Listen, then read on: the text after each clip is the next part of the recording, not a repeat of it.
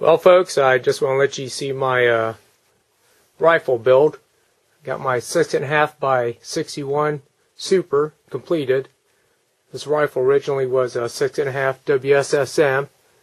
I uh, got it back from my gunsmith a couple days ago. Just working on some loads now. Got the Atlas V8 bipod. Gonna like that a lot. Anyways, I'm pretty excited to uh, try out some new loads. Here's the load I got worked up. Six and a half by 61 Super, or seven by 61 Sharpe and Hart. That's a parent cartridge. The uh, quick loads is showing a cartridge overall length of 3.145 inches, showing 55.2 grains of Hodgdon H4831 shortcut. I'm looking at a OBT of 1.557, which should hit the fifth node.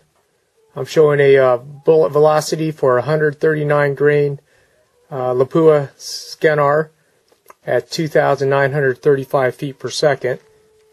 So I'll find out for sure when I uh, run it through my chronograph.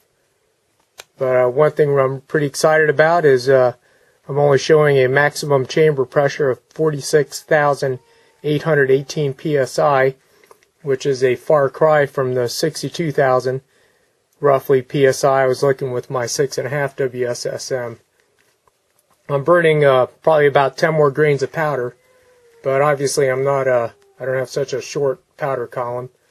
You can see the case. If I can zoom in on the, if I get rid of this background here.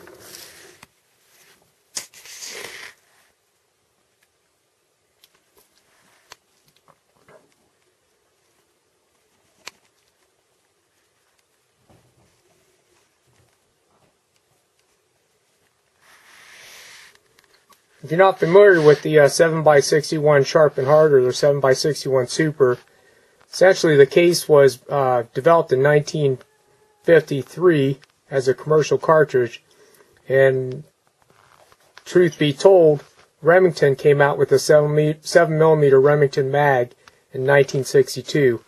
Essentially, Remington 7 millimeter mag duplicates the ballistics on this cartridge. So it is a belted magnum.